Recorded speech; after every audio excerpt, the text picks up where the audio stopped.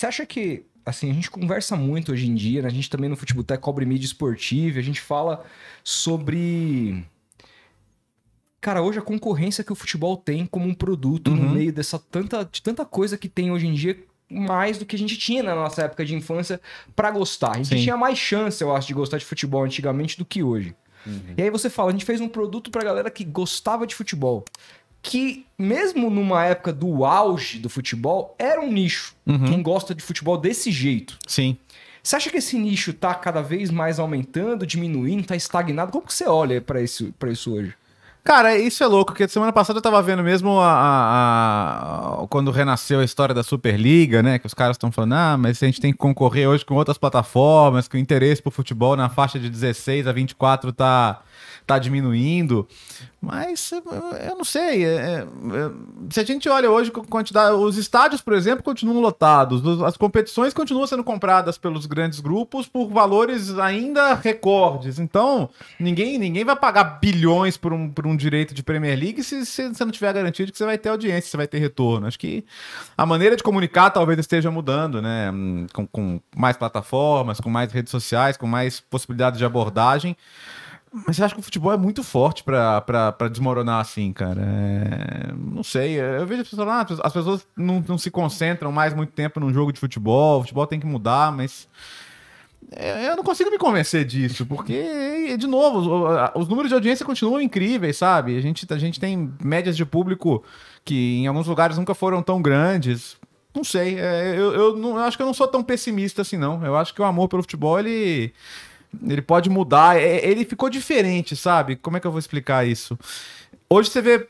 Hoje você vê a relação com o time internacional diferente do que era antes. Às vezes não é a coisa só de, ah, mas eu, não, eu torço aqui, mas tem simpatia por tal. Não, velho, tem, tem, tem uma galera que é tão Real Madrid ou Barcelona quanto É quanto é Flamengo, Palmeiras. Tem gente que é mais, tem gente que é só, tem gente que é só Real Madrid.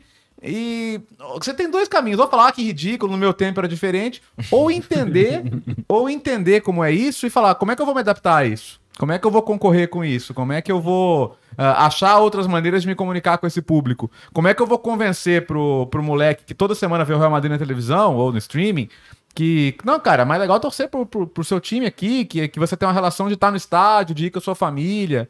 Então, acho que é um, é um desafio, sim. Eu acho que a relação mudou, mas acho que a relação próxima com o futebol, ela.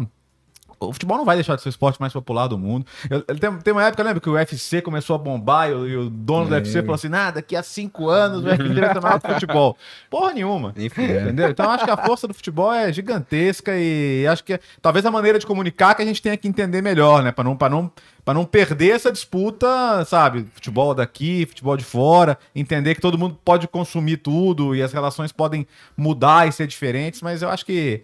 É, Eu, eu sou muito disso. Eu, eu discordo muito quando alguém fala que ah, daqui a pouco não vai ter mais interesse por futebol. Porque, até porque isso passa de geração pra Você geração. falou né? que a sua filha é galo pra Pô, caramba. né? muito, velho. E como é que é muito. na escola dela? A galera, a Ah. galera é, é, é, tá mais tá interessada por futebol ou tá interessada por BBB? Ano assim? É passado é? ela deitou, né? Esse BBB. ano, coitado. Falei, ah, ainda bem que você aproveitou. Meti a camisa. Ela ia com a camisa. Ah, no, no- ano passado, na reta final, nossa senhora. Nossa, e era legal que assim. Escola, era, é, e sabe o que eu tava pensando? Era louco, porque pessoas iam conversar. Às vezes pessoas que não são da sala dela, ou pessoas que não são da turma dela, iam conversar com ela, falar, pô, o Galo, que legal e tal. Então, sabe, ela é a Laura que, que, que torce pro Galo, velho. Entendeu? Da hora. É, então, isso, é, isso era legal pra caramba. Esse ano, coitado, é isso. Agora todo, toda hora alguém vai encher o saco dela. Então, a- a- a- é louco, a rivalidade dela. Não é com o Cruzeiro, porque ela não conhece Cruzeirense aqui. Mas, ela, mas ela, ela não suporta São Paulino. eh, claro, os outros até claro. mais, mas ela- que o São Paulino fica, ah, porque, ah, porque Mundial. blá, blá, blá. Ela fica, você era nascido, filho. Me conta como é que foi a comemoração do Mundial da Libertadores. Porque, pô, eu já vi coisa pra caramba. Ela com quatro anos estava comigo na, na final lá em- no Mineirão. E, e- e ano passado, pô, a gente foi pro jogo da taça, a gente foi para as duas finais da Copa do Brasil. Passamos um puta de um perrengue lá em Curitiba. Mas eu faço muita questão de viver isso com ela. E como é que é? Então, e, e é isso, os coleguinhas dela gostam também. Gostam de futebol. Agora o álbum da Copa foi uma febre geral, assim. Verdade, isso Verdade. retomou um pouco. verdade. A, a escola mandou um, mandou um e-mail é, dando uma, uma etiqueta pra lidar com, a- com o negócio da troca de figurinhas, que horas, como, não roubar a figurinha do amiguinho. Caralho, é, porque, pô, tinha casa de figurinha sumindo, assim, do nada, e, e- mas é isso, e, o pessoal gosta, cara, gosta. E assim, o pessoal, o pessoal sabe quem ela é, filha de quem que ela é, então Uhum. gosta de falar, pô, sou seu fã e tal, falo do seu pai e tal. Então, pra ela, pra ela é um barato. E ela, e, ela, e, ela, e ela é briguenta com essas coisas. Ela não deixa falar, não, cara. Ela, ela pega no pé mesmo. Eu acho que mudou um pouco o jeito Hum. do- das pessoas consumirem futebol, né, velho?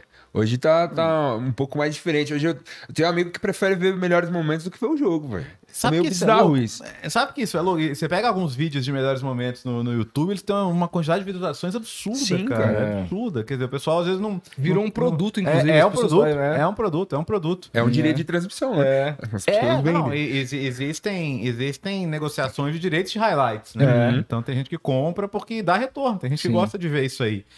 É, mas, é, mas é isso, às vezes é coisa do imediatismo. Hoje tem essa loucura, cara, de, de, de- Tem muita gente que ouve aqui em um e meio, dois. Porque tem uma galera que gosta de consumir o jogo ou podcast, assim, de ver os jogos em velocidade 1,5, porque nossa, ganha cara. tempo, entendeu? Sim. E Eu, eu, tenho jogo colegas, jogo né? de futebol é loucura fazer Não, isso. é loucura. É, é barbárie. Pô, como é, diz eu, tenho, eu tenho colegas ah, que analisam e tal, fala, cara, às vezes eu preciso ver dois jogos no, no dia pra analisar, aí eu meto um e-mail lá, dois, pra só, porra, me...